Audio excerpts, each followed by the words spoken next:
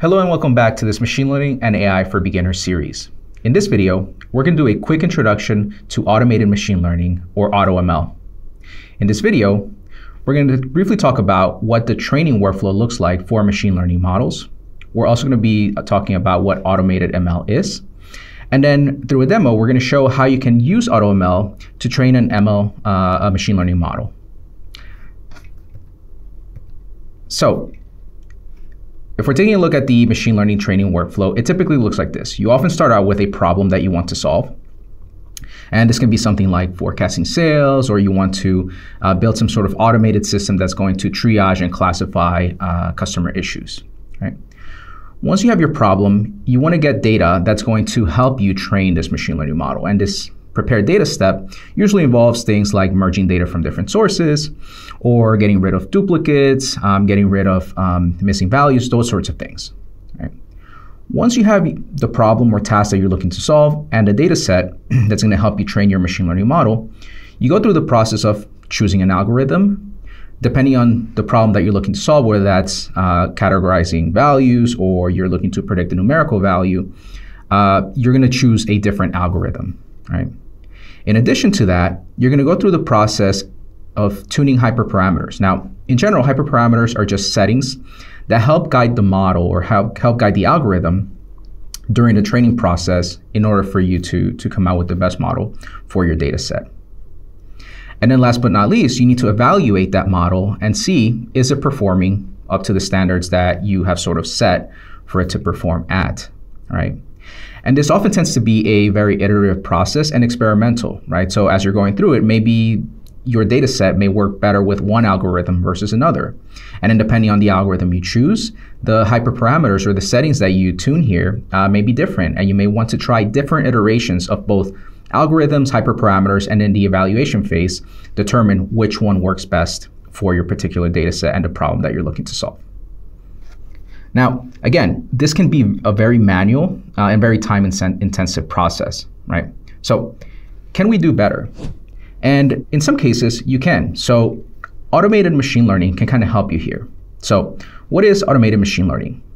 Automated machine learning, or AutoML, automates the process of applying machine learning to your data. And so, given a task and given a data set, you can run AutoML to iterate over the different data transformations, uh, machine learning algorithms, and hyperparameters in order to find the best model for your data set. And so if we think back to that machine learning training workflow, again, you start out with defining a problem and you start out with a data set. But as you can see, AutoML replaces those other steps of choosing your algorithm, tuning the hyperparameters, and evaluating to find the best model. We're going to take a look in a second at what this looks like, but I'd just like to remind you that any samples, you can find them over at aka.ms slash .net AI beginner. Let's take a look at some code.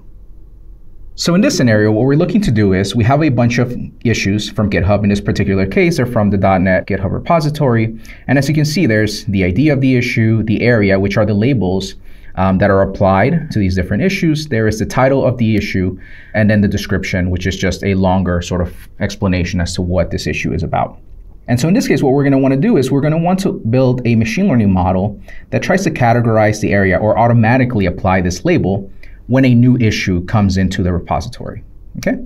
So how might we go about doing that with AutoML? Well, first of all, we start by installing the AutoML set of NuGet packages, which are over at the microsoft.ml.automl NuGet. Uh, we go ahead and add our using statements, and then we initialize our ML context. Now in ML.NET, ML context is the entry point for all applications. Then you're going to notice that we're going to use this auto construct here, and we're going to call the infer columns method here, and we're going to tell it, here's our data set, Here's how the data set is separated, right? It's tab delimited.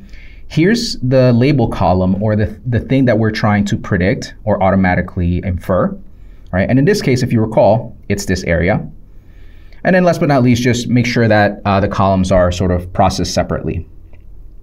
If we take a look at the results of the column inference process, you can see that there's options for the text loader that contain information about each of the individual columns. So you can see, for example, if we go to column number one here, it's the name of the column this area, and you can see that it is uh, it contains some information here as well.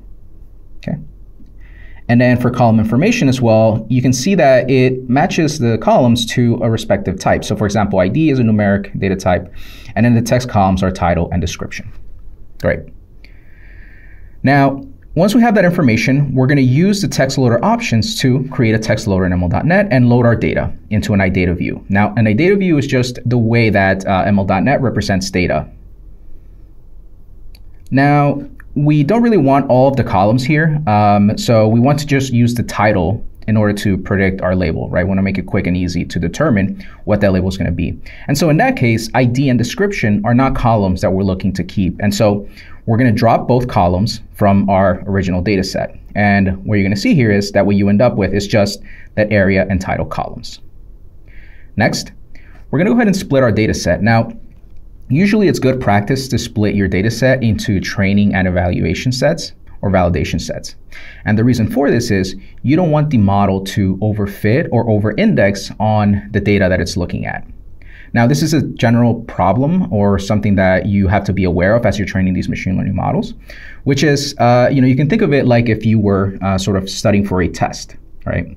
And so imagine that as you were studying for the test, you knew what all the answers are. And so, you know, you, you go ahead and you read what the questions and the answers are. And on test day, you come in and you get the highest marks or the highest grade, right? Now, that doesn't necessarily mean that you actually understand the subject matter. It just means that you memorize the answers, right? And so what we're doing here is by splitting this data set into train and validation is 80% of it, we're actually going to use it to train the model. And the other 20%, we're going to leave it out so that we can test how well the model performs on data that it hasn't seen before. Okay? So after we go ahead and split our data set, we go ahead and create our pipeline, right? And our pipeline is going to include this featurizer here, which is a thing that's going to automatically apply a set of data transformations that take the data or the raw data that's there and convert it into something that the algorithms can actually process. Now, typically these algorithms need numerical values uh, to, to, train, to, to train, right? And so as you can see, our area and our title are both strings. And so what this featurizer is going to do is it's going to transform those into numbers that can then be passed in to the different algorithms for training. Okay. You can see also that there's this multi-classification uh, sort of uh, section here. And what this is doing is it's basically just saying, I want to train a model that can predict or apply uh, labels to many different categories. Right? Now that's it. That's all we need to do. At that point, we then just create an experiment for automated, automated ML to run over. And we define a few settings. And we say, look, in this experiment, I want you to run the pipeline that we've defined above. Um, this is the metric that we're going to use to evaluate our, uh, our model. Uh, we want to train for two minutes or 120 seconds. And here is the data that I'm going to be using to train my model, right? And so once that's set up, then we're basically, for the most part, ready to run. Now, we also want to configure a monitor here. And what this monitor has is just a set of sort of events or lifecycle events that, depending on which stage of the training process uh, the AutoML experiment is in, it's able to perform some tasks. And you can see here that as trials are completed, right, or every run of the AutoML process runs, we want to uh, log a few things here and output things to the console. Okay, and so these are completely uh, up to you to sort of implement how you see fit, depending on what your needs are here. Okay, so now that we have our monitor, we add that to the experiment as the thing that's going to uh, update us on the status of the training process. Okay, now that that's all configured, we basically just run the experiment. And throughout this process, you're going to see that there's a few things that takes place. So in the two minutes or 120 seconds that I gave it, it's going to iterate, given my data set and given the pipeline or the, the task that I'm looking to solve, look through different algorithms, data transforms, and tune those hyperparameters in the process. So you can see here, for example, that in trial one, it, this was the pipeline that was built of the transforms as well as the algorithm that it's using. And you're going to notice here that it tried fast forest OVA here, and it also tried fast forest OVA here right? And you may think, well, it's actually just doing the same thing. Well, no, what this actually means is it tried this algorithm twice, but it tried it with different hyperparameters, right? And similarly, not only is it iterating over the hyperparameters, but it's also uh, choosing different uh, sort of algorithms. You can see here it was fast tree OVA, fast forest, and in this case, it used SDCA maximum entropy, right? So again, it's automating that training process for us, Okay. Once the training is complete, the best model is actually uh, sort of captured here, right? And so you, that's in the you know experiment results model uh, property. And you can see that the model, these are the different, again, transforms that are sort of, uh, that were sort of used here. And in the best model, the algorithm that it picked was this one versus all uh, algorithm, okay? If we display the metric, right, so our macro accuracy, we can see that it has a 0.69, which uh, for our use cases, this is pretty good enough. It goes from uh, 0 to 1, 1 being best and 0 being uh, having not a lot of predictive capabilities, right? And so 0.69, that's good enough given this uh, limited data set. Okay? So once we have this, right, it's time to try out the model. And one of the things that I'll sort of call out here, I kept saying model, but these models are essentially just, um, they contain state and information about your data set that was learned during the training process that given new data, it can infer or make predictions on that particular data point.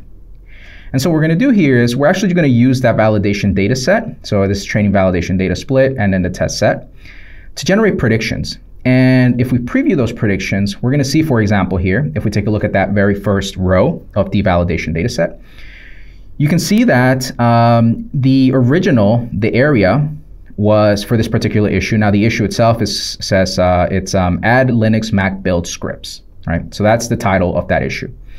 And the original value is area infrastructure, and if we take a look at the predicted label or the value that was inferred by the model, you can see that it also predicted area infrastructure, right? And so we can sort of spot check here as well, in addition to using the metrics, you know, how well there is, is our model behaving the way that we would expect it to.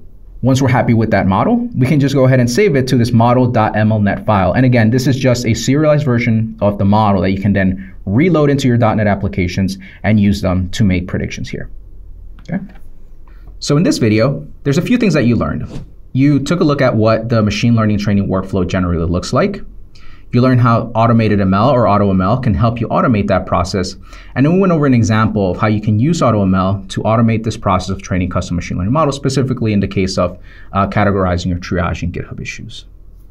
Thanks for watching. See you in the next video.